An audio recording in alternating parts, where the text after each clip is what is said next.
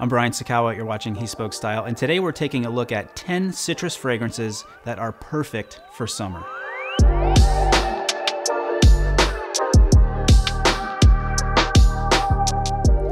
First up, we have Acqua di Santa Maria Novella Profumo.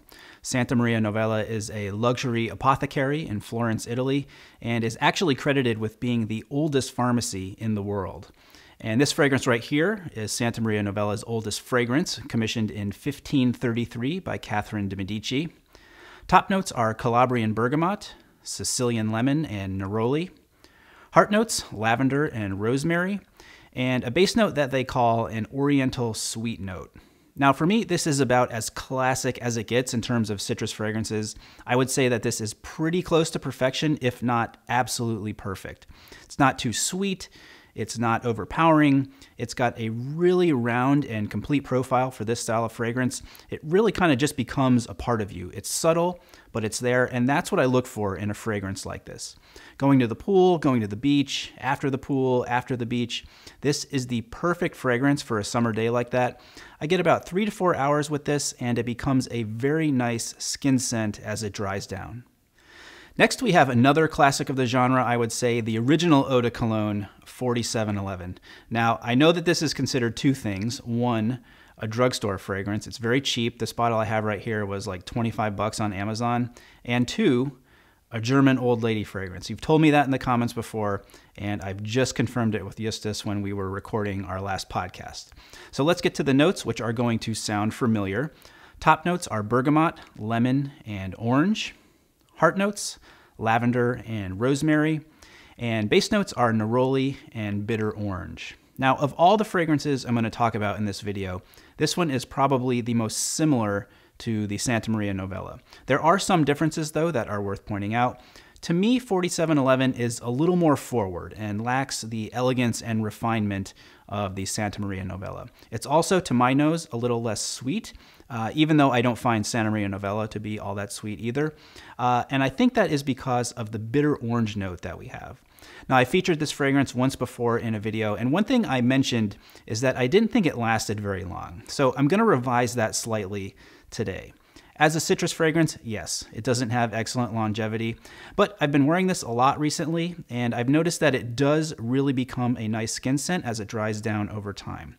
Now, if you're looking for that very classic eau de cologne scent, and let's say you're between the Santa Maria Novella and 4711, all things being equal, if price is a concern, I would go for the 4711. Turning to something very interesting and with a lot more complexity now, and that is Arquiste's L'Etrog. It's classified as woody, powdery, citrusy, and green, and that's exactly how the notes read. Top notes here are Calabrese citron and bergamot, Sicilian lemon, and myrtle. Heart notes Smyrna date fruit, North African jasmine, and pistachio tree resin. And base notes are vetiver, patchouli, and Lebanese cedarwood. Like all Arquiste fragrances, L'Etrog has a very evocative description, which basically is meant to summon the wooden cabins and citrus fruit harvests in medieval Calabria. It's great when there's a story like that, and it's even better when the fragrance matches that story exactly, which is certainly the case here and across the whole Arquiste portfolio. In addition to the listed notes, I always get a hint of lime. Now, I love this fragrance because it's light yet it's complex, which is hard to do with a fragrance like this, I feel. It's a very interesting and unexpected summer scent and a really cool interpretation of a citrus fragrance. Four to six hours on my skin. Here we have Musgo Real Spiced Citrus. Now, the Musgo Real brand has been around since the 1930s. It's a Portuguese brand, Claus Porto. Really classic, gentlemanly types of fragrances, and they also still sell soap on a rope. This is called an exotic oriental fougere. So as you can imagine, it's got a little bit of that barbershop fragrance kind of smell to it. Top notes are lime, coriander, lemon, and verbena. Heart notes, they say, are spices. And base notes are woody notes and incense. I would definitely say this leans more towards the spicy side of the name rather than the citrus side. I would most certainly put this in the fougere realm. Uh, it is very masculine in that old school gentleman kind of way, and not your typical citrus fragrance. Up next from Penhaligon's, we have Bayolea. I know if I said that wrong, someone will correct me. please do. Now, among the 10 fragrances we're talking about in this video, I would say that this one is probably the most unique and weird. So, notes. Top notes are lemongrass, mandarin, and tangerine. Heart notes, cardamom, black pepper, neroli, and lavender. And base notes are cedarwood, sandalwood, musk, moss, patchouli, and amber. You've got the citrus notes on top, and you definitely smell them right off the bat, but this is more of what I would call a citrus aromatic. Those heart notes of cardamom, black pepper, and lavender really come to the fore and really start to blossom and develop over time. In fact, I would say that they honestly take over, and you really aren't left with much of the citrus once this starts to dry down. It is long lasting, I would say a good eight hours or more. So, the best way I can describe this fragrance is to say that it is quirky. Here's one that's a true classic Eau Sauvage by Christian Dior. So, this was introduced in 1966 and was actually Dior's first fragrance for men. Top notes include lemon, bergamot, basil, lavender, and a hint of cumin. Heart notes are jasmine, rose, carnation, patchouli, and sandalwood. Base notes oak moss, vetiver, musk, and amber. Obviously, a citrusy fragrance, but also very fresh. On the surface, it can seem like a very, very simple fragrance, but when you spend more time with it, you realize that it has a lot more depth and a lot more complexity to it. Lasts quite a while on my skin, I would say five to eight hours, believe it or not.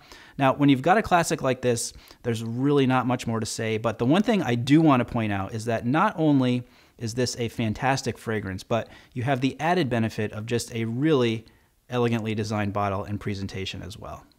Next up, we have Selection Verte from the Creed Private Collection. This one does come with a hefty price tag, though in my opinion, it is very much worth it. We'll talk about why I think that is in just a moment, but first, let's get to the notes. With the top notes, you're going to find neroli, citrus, and pepper. Heart notes, we have peppermint and herb notes. And base notes, ambergris. So I always feel like there's a very elegant quality to Creed's fragrances. There's a lightness and almost kind of transparency to them, and then just that perfect blending of all the elements where it's making something much greater than the sum of all of its parts. This one here, Selection Verte, is a prime example of that. It is a citrus fragrance, but it is not one dimensional. It's elegant, it's complex, and it's just so perfectly done. Now, the other reason I would put this on a little bit of a higher level is that it lasts, and that is most likely due to the ambergris in the formulations. A few sprays of this in the morning really will last me all day. Here is a real staple of many people's summer fragrance collections, uh, Acqua di Parma Colonia. As I said before, you can see by the shape that the label is in that I've had this for quite a while and it travels a lot with me. Honestly, it isn't summer if I'm not wearing this at some point. Let's get to the notes. Top notes lemon, sweet orange, and Calabrian bergamot. Heart notes lavender, Bulgarian rose, verbena, and rosemary. And base notes are vetiver, sandalwood, and patchouli. Some say it is the scent of classic 1930s Italy. It's light, it's carefree, it's glamorous, it's sophisticated, and it's elegant in its simplicity. It has those kind of glamorous overtones in part, I think, because it was supposedly a favorite scent of style icons like Cary Grant, Gregory Peck, and David Niven. It starts out with a real blast of sweet lemon, but you do get those notes of the lavender, the rosemary, and the verbena. I don't want to say that it thins out, but it takes on a much different quality in about the first 30 to 60 minutes that you have this on. Not terribly long lasting at three to four hours, but honestly, a must have citrus summer fragrance. Next up is Zegna's Italian Bergamot from the Essenze collection, which, as you might recall, I included in my list of picks for the best black tie or formal fragrances. Let's get to the notes, and they are very simple. Top note of bergamot, heart note is rosemary, and base notes are neroli and vetiver. This is a very, what I would call, elevated citrus fragrance. And I say that because the citrus is not overpowering. There's just a great balance between all of the elements here. I would say more than being citrusy, I would put it on the fresh end of the spectrum. It's refined, it's got a moderate projection, it's longer lasting. For me, this is a great pick for any type of evening event in the summer, whether that's a wedding or just a nice romantic dinner by the beach. Finally, we have Blenheim Bouquet by Penhaligon's. It was created in 1902 for the Duke of Marlborough. It was also known to be a favorite of Winston Churchill as well as Johnny Agnelli. Top notes are lemon, lime, and lavender. No heart notes here. And base notes are pine, musk, and black pepper. Now, on the Penhaligon's website, it says that Blenheim Bouquet is as dry and fresh as the best gin, and I think that's a really, really apt description of this fragrance. It has a nice sharpness to it, which is a contrast to the more sweet notes that you find in a lot of the other citrus fragrances we've talked about. Now, as far as the citrus itself goes here, you do get more of a lime instead of a lemon scent. With the lack of heart notes, it does have that lightness and airy quality to it, but I can't overemphasize the crispness and sharpness to this fragrance's character. You get about four hours here, and it dries down to a very nice skin scent. Those are 10 citrus fragrances from my personal collection. I'm sure there are plenty of others that you guys love, so please leave those down in the comments. You can find links to all the fragrances I talked about in this video down below in the description.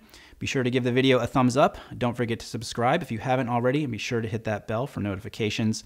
That's all for now, so until next time, thanks for watching, and stay tailored. Finally, we have Blenheim Bouquet by Penhal. Did something just ding? Oh, it was the thing.